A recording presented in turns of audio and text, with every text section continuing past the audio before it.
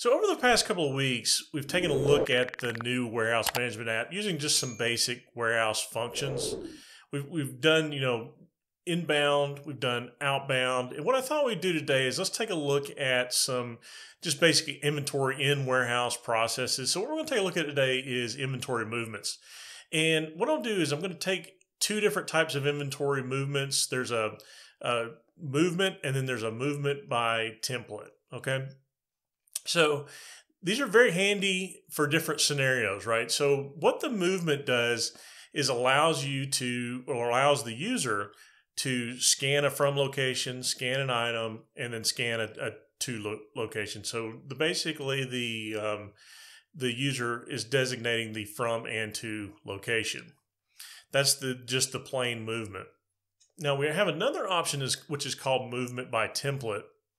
And what that one does is you basically set up a work template and then a location directive, and the user scans the from location, and then using that location directive, it will the system will determine the to location, the put location. So when might you use that one? You may not think of a good way, reason to use that one, but um, a real common scenario where I use that particular one, there's actually two fairly common scenarios where I use the movement by template. One of them is when I'm doing quality management work. So if you're doing quality management, now the quality management has changed. I will, let me just preface that a little bit. So it, it works better than it used to. So this is more older that I used to use this for, but I think it still has some value there. Um, so when you're quality management and you've got items that have been finished through quality and they're just sitting there and need to be put away, you can scan the item and it'll tell you where to go put it away at.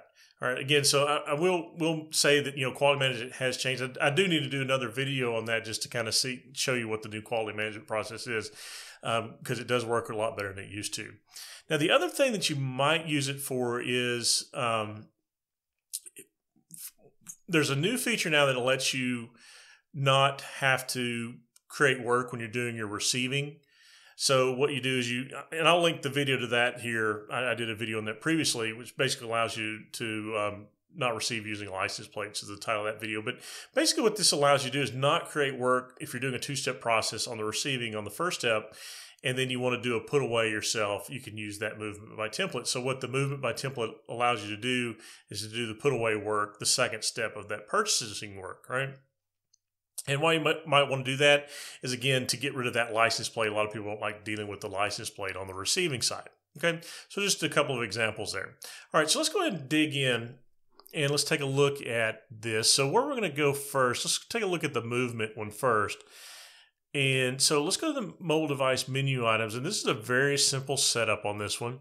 There's no other setup besides the menu item that you really need to do. So if we come down here and we look for uh, movement, that's what I've got my menu item here called.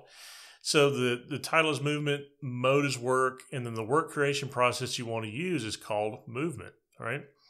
So keep that in your back of your, your mind. I'm going to go and go over the setup on the movement by template as well. But just so the first one is just the movement. Um, again, having the user tell it the from and the to location. Uh, all you have to do is this menu item. The movement by template's a little more complicated.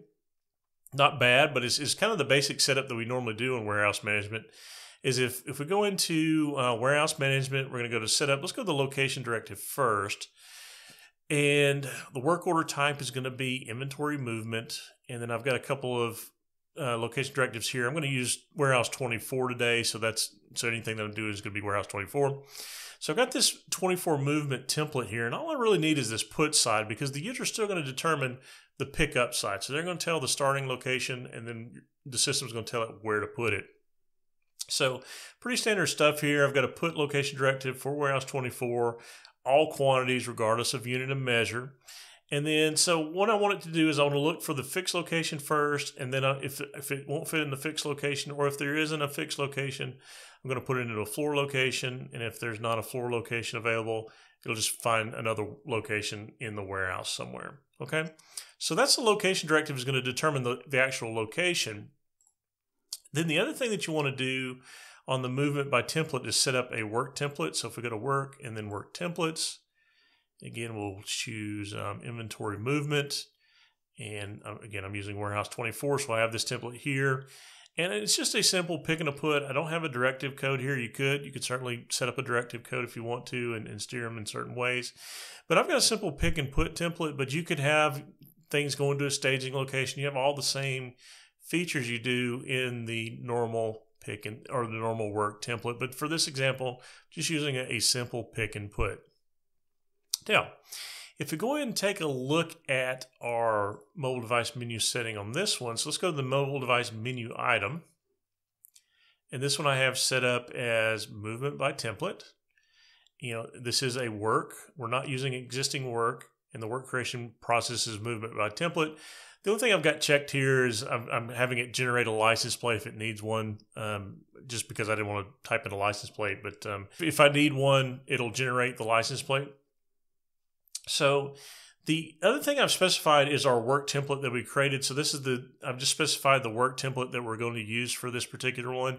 You can have different menu items tied to different work templates if you'd like. All right. So I've just specified our, our 24 uh, movement template here. Okay. So let's hop over and we'll take a look at our on-hand inventory here. So I've just gone to an on-hand screen and the item we're going to be using today is a 51515. So I'm going to slide this over. These are all the same item. And I've got 2,100 of these in bulk, and then I have these other picking locations. Now, I will tell you that pick one is a fixed location for this item. So this item does have fixed locations. And if you remember on our movement by template location directive that I gave us, it is going to look for a fixed location first. So it should suggest that location for us. It's going to fit in that location. All right. So I think what I'll do just to demonstrate the movement um, template here, or just the normal movement, what I'm going to do is I'm going to move some move an item from bulk 11 to pick 04. Okay. So let's go ahead and do that. So I'm back to my main menu here. I have my movement set up under inventory. And then I have my movement and movement by template here. So if I go and click on movement, and again, this just as a reminder, this was the very simple one where all we needed is a location, or excuse me, not a location, but we needed a menu item set up, mobile menu item set up for a type of movement. All right. So the first thing it's going to ask me to is, is our from location. Let me slide this over so we can see our um, kind of see our bulk. We'll, we'll, here's our inventory and here's our uh, locations. We'll kind of split it up there. So what I want to do is I want to move this from bulk um, 011 and as normal, I'm typing these in. You would normally scan these. And the quantity it's going to take pickup is just what the quantity is in the, in the location, but we can change that. I'm going to click up in there and I'm just going to move one. All right. Go ahead and hit enter there on the one. So what it's going to do is it's going to give tell me now where I want to move it to. So again, on this this movement, it's very simple. It's, you're going to specify both the from and the to. So what I'm going to do is I'm going to move it to pick 04. So let me click up in there, pick 04, hit enter, and that's going to move that item. So if I click over here, so right now we got 2160. I'll go ahead and refresh this screen, and now we have 2099 and 61. All right, so now what I'm going to do next is I'm going to take one from, from pick 04 and I'm going to have it suggest a location. So remember the way our location directive is set up, it should choose this pick 01 location. So let's go and give that a shot.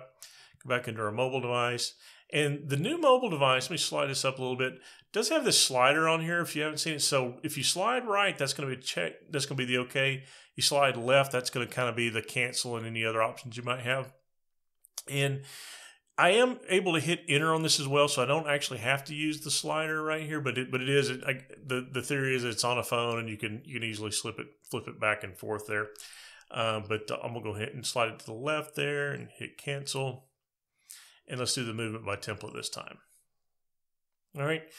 So still on the movement by template, we're going to have to tell it the from location. So remember, I'm going to move it from pick 04 and then have it suggest another location. So I'm going to put in uh, pick dash 04 and hit enter. And the quantity, again, I'm just going to move one here. Just going to move one and hit enter. And then what it's going to do, so I'm asking me to check my values and confirm. So, so I'm picking up from pick 04 of 51515 for one. Now, incidentally, I will say that we're not using, a, it's not asking me for the item number. This is the only item number in these locations. So if it, if this location had multiple items in it, it would ask me to say what scan what item it, it, it you know needed. But since it's the only item there, it just defaults in the item that's that's there. All right. So here's what we're, we'll use the slider here for you. So this information is correct. I'm going to take my slider and go to the right, and that's going to be the OK. Now it's going to tell me to put it in pick 01. All right. Now, why is it doing that? Because pick 01 is the fixed location. It's used our work template, generated work, and it's, and it's using the location directive to say the fixed location for this is pick 01. So remember on our location directive, we had look find fixed locations first, then look for floor locations, then find any location. So it will fit in our fixed location, so it's going to suggest that location. So again, we'll use the slider for this again, and we're going to go just slide that to the right, and it'll give us a work completed. All right. So if we come back over here and we go and hit the refresh, now we'll see that this is back at 60, and now we have uh, 41 in our pick 01 location. Okay. So again, just showed you some simple processes. I use these, you know, these movements are going to be used a lot in the warehouse. It's, it's, you always need to have these set up so that a worker can move items from A to B. What I tell people when I'm implementing warehouse management is you don't touch an item. An item doesn't move unless you've entered done something in the gun, right, in, in the device. So if you're going to move from shelf to shelf, you need to have a moving app for them to do it. And there there are places for both of these to be used. You don't have to use them in every implementation, but uh, depending on what the customer's looking for, you might want to use one or the other. All right.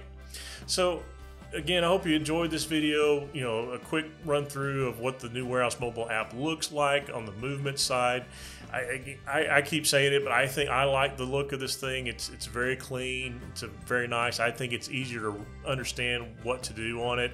Um, got some pretty neat controls on it. I uh, can't wait to use this out in the field just to see see what else, what other benefits I can find from it. So I, I like it. Really nice. Uh, it's a really nice app. Um, there. Okay. So if you enjoy this content, I put out once one of these videos about once a week. Uh, generally on Thursday mornings, I release a new video, and this is the third part of this mobile device menu. So we've, we've got I'm gonna do one more here uh, that will come out next Thursday. Okay. So if you want to catch that next video, go ahead and subscribe and hit that notification bell so you get uh, notified when I upload a new video. All right. So uh, again, I hope everybody enjoyed it. Uh, hope have a great week. Thanks for watching. See you later. Bye.